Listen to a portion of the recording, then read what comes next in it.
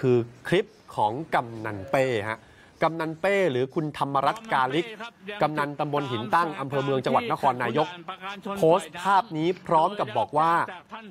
พออบอกว่าประตูระบายน้ำพัง น้ำมันเลยมาช่วงนี้นะครับผม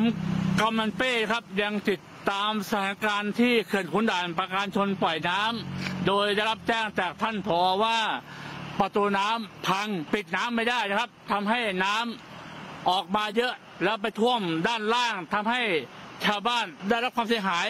เดือดร้อนเยอะพอสมควรนะครับ ผมก็อยู่ตรงนี้อยู่นะครับ ตรงนี้จากท่านพอแจ้งมา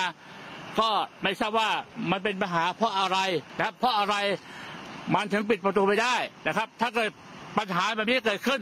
ถ้าเกิดเขื่อนพังชาวบ้านตายเป็นหมื่นคนอะใครรับผิดชอบครับ ผมฝากท่านรัฐ มนตรีกระทรวงเกษตร และสหกรณ์รัฐท่านร้อยตำรวจเอ่อมานัดนะครับฝากด้วยฝากดูแลครับ ไม่ใช่ว่ามีปัญหาแบบนี้ ชาวบ้านจะรับความเดือดร้อน แล้วข้าราชการไม่เคยดูแลเลย ปล่อยให้น้ำท่วมแบบนี้นะครับ วันนี้เสียหายเยอะจากประตูน้ำเขื่อนขุนด่านปากกาชนพัง เสียหายเยอะครับ ชาวบ้านโทรมาแจ้งผม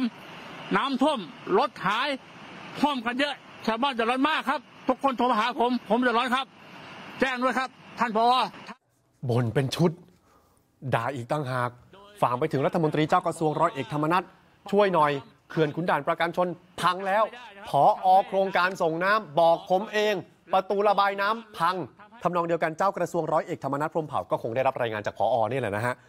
มันเป็นฤดูน้ำหลาก มันไม่ใช่การปล่อยน้ำจากเขื่อนเข้าใจกันผิดหมดเลย สถานการณ์ทั้งหมดมันมาจากฝนตกหนัก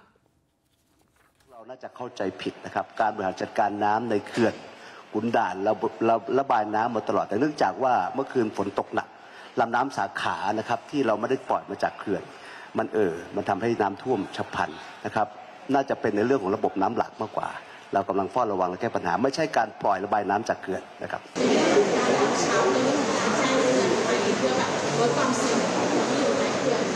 คือเราต้องอาศัยข้อมูลจาก GISTDA นะครับที่ประชุมมอบหมาย GISTDA และหน่วยงานที่เกี่ยวข้องโดยเฉพาะปอพนะครับในส่วนของกระทรวงเกษตรก็คุณผู้ชมครับอ้าวพอเขาแถลงอย่างนี้เจ้ากระทรวงบอกอย่างนี้ ต้องกลับไปที่กำนันเป้กำนันเป้แล้วเอาอะไรมาพูดล่ะ ในคลิปมาพูดได้ยังไงว่าคุยกับพออแล้วพออบอกเขื่อนแตกเขื่อนพัง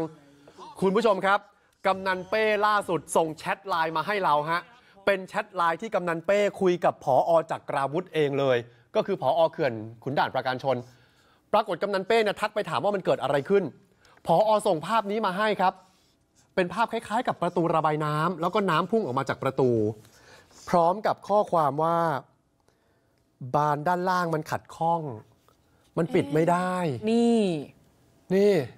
กำนันเป้ถาม ท่านพออ มันเกิดปัญหาอะไรขึ้นครับ ตอนนี้ข้างล่างน้ำท่วมเยอะเลยครับ เสียหายมากเลยครับพออตอบว่าบานด้านล่างมันขัดข้องครับ มันปิดไม่ได้ ต้องปิดบานด้านบน ตอนนี้ตอนนี้ปิดได้แล้วนะครับ ตอนนี้แจ้งให้สำนักเครื่องจักรกลที่กรมปักเกร็ด มาเร่งแก้ไขบานด้านล่างต่อครับ อ้าว ไหนบอกไม่ผุไม่พัง อันนี้เขียนเลย บานด้านล่างขัดข้องปิดไม่ได้ ต้องปิดบานด้านบน ตอนนี้ปิดแล้ว แจ้งสำนักเครื่องจักรกล มาแก้ไขบานด้านล่างแล้ว อ้าว นักข่าวเราอะเนาะค่ะก็เลยโทรกลับไปหาผออตอนแรกผออรับสายผออพูดกับเราว่า ก็แถลงไปแล้วไง ยืนยันแล้วไงว่าเขื่อนไม่แตกทุกอย่างแข็งแรง นักข่าวของเราน้องเบลก็เลยบอกว่า ท่านผออคะกำนันเป้ส่งแชทมาให้เราแล้วนะคะ เห็นแล้วว่าบานด้านล่างขัดข้องอะประตูระบายน้ำปิดไม่ได้อะค่ะผออึกอักอึกอักแป๊บเดียว มันปิดไม่ได้แป๊บเดียว ไม่นานเลย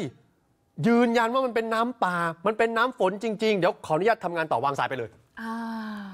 เราก็เลยไม่ได้ไม่ได้เสียงพออมาปล่อยช่วงนั้นนะฮะค่ะก็พออบอกอ๋อมันขัดข้องแป๊บเดียว ก็ยืนยันแบบ